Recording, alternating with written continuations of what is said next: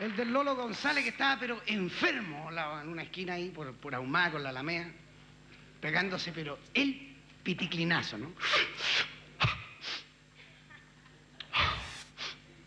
Esto por lo que me han contado, ¿no? Ya, pero se estaba remangando las uñas el Lolo, oiga.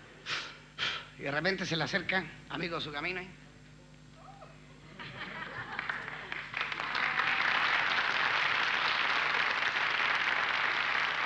Clavado que era Pérez, ¿ah?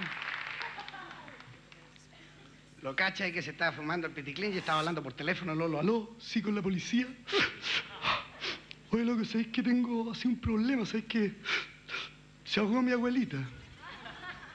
¿Y cómo fue? Eso fue su- una onda súper penca, ¿sabéis que estábamos los dos ahí en el departamento, ¿cachai? Y carabinero sapeando, ¿eh?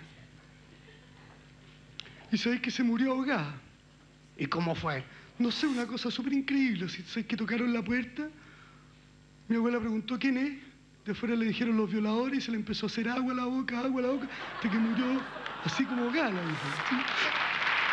Y ahí el carabinero, ahí el carabinero como que cachó que el Lolo estaba medio boleque, ¿no? Le abre la puerta así la carabinera. ¿Qué estás haciendo ahí?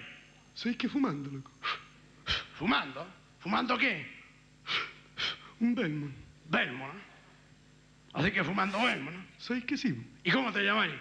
Sé que espérate un cachito. Cumpleaños feliz, cumpleaños feliz, cumpleaños Patricia. Pato González me llama. Hasta ahí graciosito, ¿ah? Así que fumando Belmo, ¿no? ¿Sabéis que sí? A ver, pasa para acá, le dice. Le agarra el pucho y empieza el carabinero. Cigarro.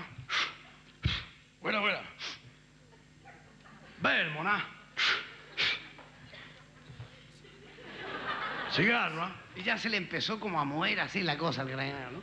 No se sa- sabía si era José Luis Rodrigo o Perro con distemper, pero como que se le caía la cola, ¿sí? Ya miraba así que cigarro, Belmo, ¿no?